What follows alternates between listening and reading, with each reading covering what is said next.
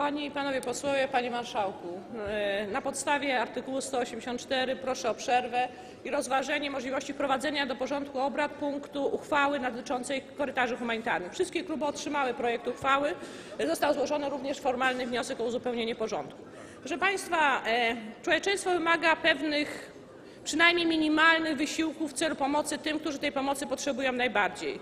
E, To, co się dzieje w Syrii, to W efekcie tego, co się dzieje w Syrii, e, setki tysięcy ludzi straciły życie, miliony straciły swoje miejsce do życia, a dziesiątki tysięcy zginęły w Morzu Śródziemnym. To oznacza, że możemy wszyscy pomóc, wykazać się miłosierdziem i miłością bliźniego. Caritas, jak i Episkopat Polski wnioskuje o utworzenie korytarzy humanitarnych. Rozumiemy, że uchodźcy to jest temat, który wzbudza mocne emocje.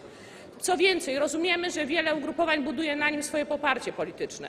Ale korytarze humanitarne to jest to minimum, to minimum, które możemy włożyć w nasze człowieczeństwo, to minimum, które pozwoli nam patrzeć codziennie w lustro i pomyśleć, że zrobiliśmy cokolwiek, żeby uratować przynajmniej część ludzi. Korytarze humanitarne są skierowane do tych, którzy ich potrzebują najbardziej, do osób chorych, do rodzin z małymi dziećmi.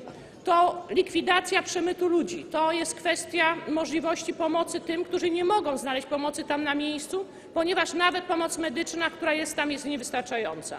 Dlatego apeluję do wszystkich klubów, żebyśmy wprowadzili ten punkt do porządku obrad i przyjęli uchwałę, która zobowiązuje rząd do utworzenia korytarzy humanitarnych. Jednocześnie, proszę Państwa, apeluję do państwa człowieczeństwa, apeluję do tego, co jest państwu z miłości do bliźniego. Apeluję do zwykłego humanitaryzmu.